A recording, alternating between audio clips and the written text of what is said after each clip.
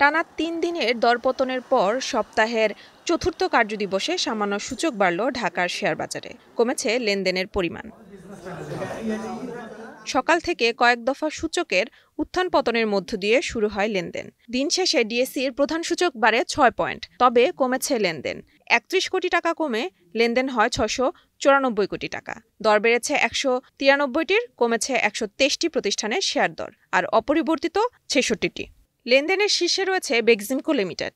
চুয়াল্লিশ কোটি টাকার শেয়ারের হাতবদল হয়েছে প্রতিষ্ঠানটির। পরের অবস্থানে Shinepukur ceramic JMI hospital, Alif manufacturing এবং সোনালী পেপার মিলস।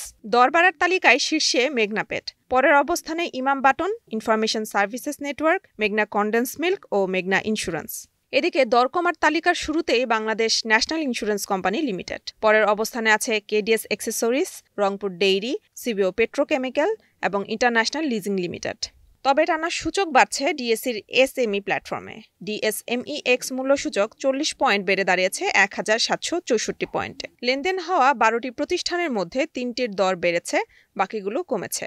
গেল কয়েকদিনের নেতিবাচক প্রবণতাকে বিনিয়োগকারীদের বাজেট প্রতিক্রিয়া হিসেবে দেখছেন এএফসি ক্যাপিটালের প্রধান নির্বাহী কর্মকর্তা মাহবুব এইচ মজুমদার। ক্যাপিটাল মার্কেটে উত্থান থাকবে, পতন থাকবে এটা হলো স্বাভাবিক। রেগুলেটরদের পক্ষ থেকে যা করণীয় ছিল, অনেক কিছু করা হয়েছে। বাজেটে যেখানে ক্যাপিটাল মার্কেটের জন্য সবাই আশা করেছিল, একটা প্রত্যাশা ছিল যে অনেক ভালো কিছু ক্যাপিটাল মার্কেটের জন্য আসবে, সেখানে কিন্তু ক্যাপিটাল মার্কেটের জন্য ভালো কিছু আসে নাই। এদিকে ডিএসসির ধারাবাহিকতায় সূচক বেড়েছে চট্টগ্রাম স্টক এক্সচেঞ্জেও।